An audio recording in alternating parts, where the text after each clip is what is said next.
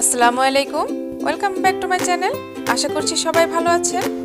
আজকে আমি আপনাদের সাথে এমন একটা রেসিপি শেয়ার করব, যেটা খুব সহজেই তৈরি করা যায় এবং খেতে খুবই খুবই ইয়াম্মি হয়। আর বাচ্চারা যদি ফ্রুটস খেতে না চায়, তাহলে বাচ্চাদেরকে এভাবে তৈরি করে দিলে খুব সহজেই খেয়ে ফেলে। আর সেটা হচ্ছে অ্যাপলের মুরব্বা। আর এটা কিন্তু আমের মুরব্বা থেকে খুব বেশি একটা ডিফারেন্ট না। আমার মনে হয় আমের মুরব্বা থেকেও এটা খুবই টেস্ট হয়। আমরা যারা দেশের বাইরে থাকি, সবসময় তো আমটা পেয়ে থাকি না। তাই অ্যাপলের মুরব্বাটা খেয়ে দেখলাম যে আসলেই কোনো অংশে কম না আমের আমের মুরব্বা থেকে। আমার এর আগের ব্লগটা যারা দেখেছেন, তারা অবশ্যই জেনেছেন যে আমরা ভেজিটেবল গার্ডেনে গিয়েছিলাম আর সেখান থেকে অনেক অনেক ফ্রুটস এনেছিলাম। আর অ্যাপল এনেছিলাম অনেকগুলো। আমি খুব ভালোভাবে এগুলোকে ধুয়ে নিয়েছি। দেখতেই পাচ্ছেন, তারপর আমি এর উপরের খোসাটাকে খুব সুন্দরভাবে ছিলে নেব। কারণ আমি যেহেতু মোরব্বা বানাবো, তাই উপরের খোসাটা ফেলে দেয়া জরুরি।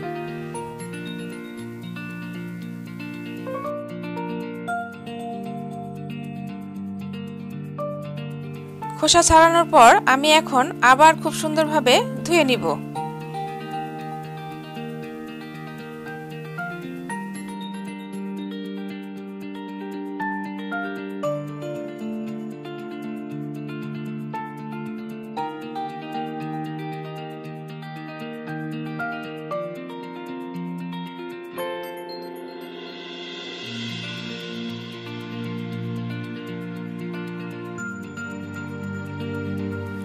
আমি আপেলগুলোকে চার পিস করে কেটে নিচ্ছি। আর যেহেতু আমি মোরব্বা বানাবো, এর চেয়ে বেশি ছোট করে কাটা যাবে না। তাহলে মোরব্বাটা গলে যেতে পারে বা ভেঙে যেতে পারে। আর দেখতেই পাচ্ছেন আমি কীভাবে কেটে নিচ্ছি। এভাবে আপনাদের কেটে নিতে হবে।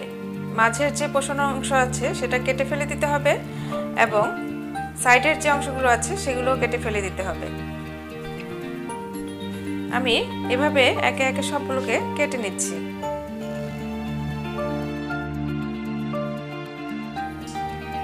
আমি এখানে ভিনেগার নিয়ে নিয়েছি। আপনারা যে কোনো ভিনেগার ব্যবহার করতে পারেন।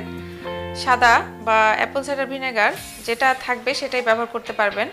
আর অবশ্যই যতটুকুই বানান, মোরব্বা, হাফ কাপ পরিমাণ ভিনেগার আপনারা ব্যবহার করতে পারবেন।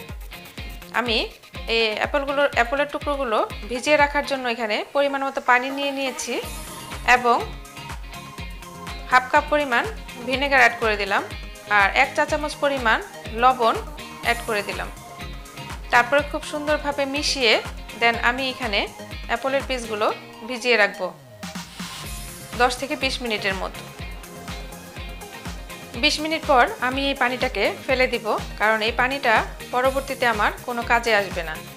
তারপর আমি শিরা তৈরি করব।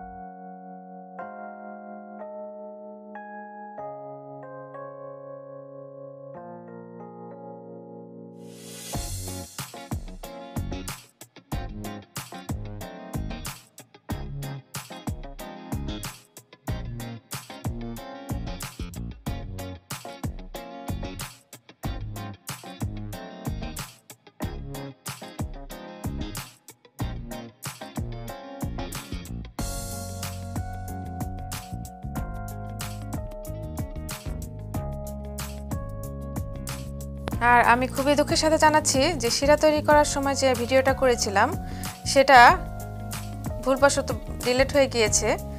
সো আমি বলে দিচ্ছি, এখানে আমি চার কাপ পরিমাণ চিনি এবং চার কাপ পরিমাণ পানি নিয়েছি। যতটুকু চিনি নেবেন, ঠিক ততটুকুই পানি নেবেন, যেহেতু আমি মুরব্বা তৈরি করছি। আর সাথে আমি এক পিস বড় এলাচ দিয়ে দিয়েছি, যেন ফ্লেভারটা ভালো আসে। চুলার জালটাকে মিডিয়াম এবং লোয়ের মাঝামাঝি রেখে 30 থেকে চল্লিশ মিনিট জাল করতে হবে। আর অবশ্যই মাঝে মাঝে এভাবে চেপে চেপে একটু নেড়ে দিতে হবে। আর অবশ্যই বেশি ঘন করা যাবে না, তাহলে আঠালো হয়ে যাবে আর খেতে অনেক শক্ত হয়ে যাবে। তাই শিরার পরিমাণটা একটু বেশি রেখে তারপর নামিয়ে ফেলবেন।